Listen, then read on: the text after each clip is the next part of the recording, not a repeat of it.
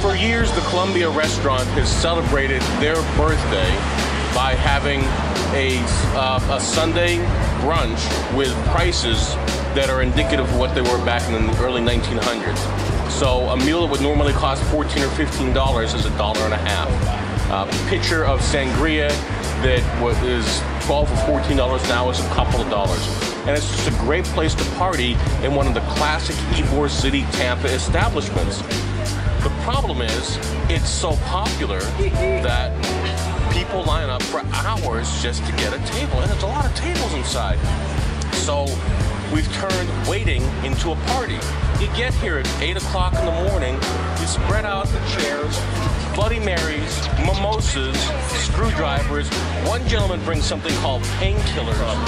The painkiller is a, uh, like I said, it's a, it's a drink that's you know famous among sailing people, sailing aficionados down in the British Virgin Islands. It's made of uh, orange juice, pineapple juice, coconut, rum, lots of rum, more rum, and a hint of uh, nutmeg. By the way, he calls it a painkiller, but it leads to pain the next morning.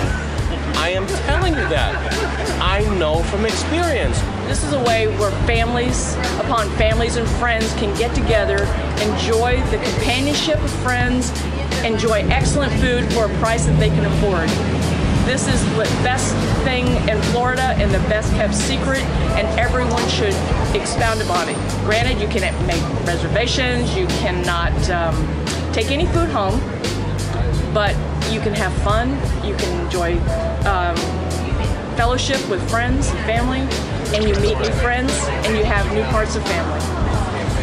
And that's what 1905 Day is. It is well worth the wait because at 11 o'clock on Sunday morning, while many people are just getting out of church, we are going to have one of the most fabulous Spanish Cuban meals you could possibly imagine with bread and salad and sangria. And for dessert, you have to have some flan and some cafe con leche. It is just a spectacular way to spend one Sunday every year. Cheers.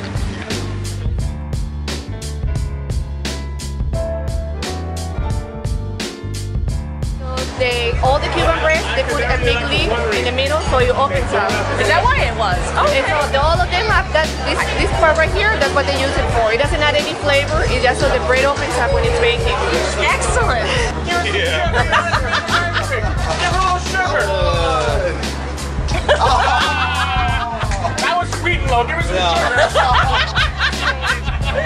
But you know what? I love you.